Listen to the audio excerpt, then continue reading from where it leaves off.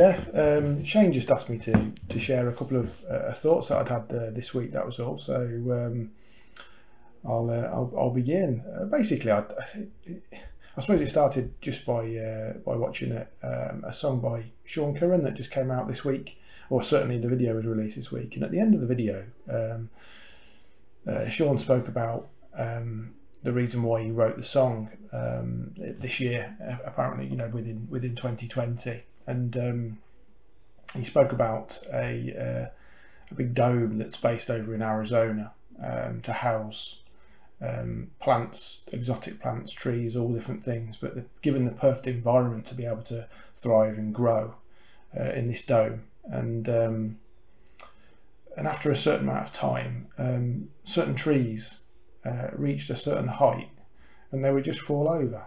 And um, it happened each time for every single tree at a certain height band, they, they just fell over and it baffled the scientists to, to why this was the case.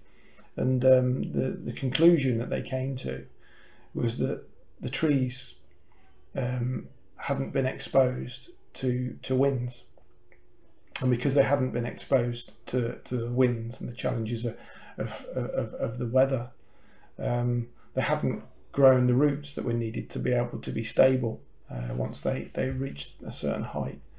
And that just really, really, really hit me this week. Um, you know, this is part part of what a lot of us are seeing in in our lives right now is that this year is challenging uh, for many of us, and um, but you know, it, it's almost like these trees where where that wind that wind is blowing and it's given us an opportunity to actually um, allow our roots to be able to grow deeper and deeper into the love that Father God has for us, into His Word.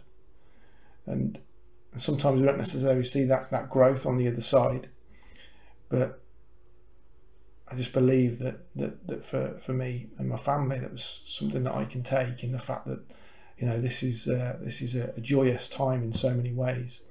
And that kind of leads with with another other pattern something the lord showed me um, this week um, which was you know we, we, we all face those challenges um, we've got in our lives and, and i don't in any way at all want to belittle the, the challenges that, that, that you face. It's not not what i want to do. Um, people have experienced losses and people have experienced all sorts of things and and, and, and diseases and things, challenges that they're going through in their lives. But, but you know, to, to home in and, and focus in this area of, of the challenge in life, um, or to belittle that, or to, to make it smaller, or try to make it seem smaller, is not going to happen by, by focusing on it and trying to find solutions in it and through it.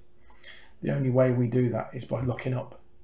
Um, G- Jesus said that um, that when when when Mary and Martha were in the room, that, that Mary found the one thing that was needed. And if I was to tell you today, there's only one thing that you need. Um, I'm sure there'll be a list of things that you could write on an A4 sheet both sides. But actually, Jesus is saying to us, there's only one thing that we need, and it's to seek Him, to look to Him, to focus on Him, spend time with Him, ponder Him, consider Him, consider everything that He's done for us. Um, and as we do that, the the uh, the focus that we have, this this love of God and this understanding that uh, who we are in Him, just grows and grows and grows. Of course, the problems still remain here, the challenges still remain, but they just don't become so significant, so focused, so in the middle of our life. And that enables our Father to be able to to to to make changes and, and, and change situations for, for, for the good in so many ways. It enables those roots to be able to grow. It gives us that better stability, that knowledge of no matter what situation we find ourselves in, as Paul said, you know, that, that, that you know, while he's sitting in jail, he's learned, he's learned, he, he's spent time with the Lord to know that no matter what situation, whether he's in feast or whether he's in famine, that the, the conclusive point is that he's found that rest and that peace. The other area is how we look on this year. Um, I just so clearly spoke to me. I mean, I, I say to the boys every morning, um, "This is the day that the Lord has made, and we will choose to rejoice, and we choose to be glad in it." And the boys shout out, "Glad in it!" at the end. And you know, I see so much um, talk about you know, desiring 2020 to be over and bring on January 1. Um, you know, again, I respectfully um, say this, but you know, this is a this is something that the Lord clearly put on my heart was that this is the year that the Lord has made, and I will rejoice. I will choose to be glad in it, and that's not waiting for tomorrow. That's right now. Grace is for today. Father God has given us everything that we need for today, and you know we, we have to operate in today. And today is 2020. Let's not wish out this year. Let's not hope that, that, that you know 2021's better. Let's just say, Father, that this is the day that you've made. This is the year that you've made. And I choose to rejoice and I choose to be glad in it. Love to you all.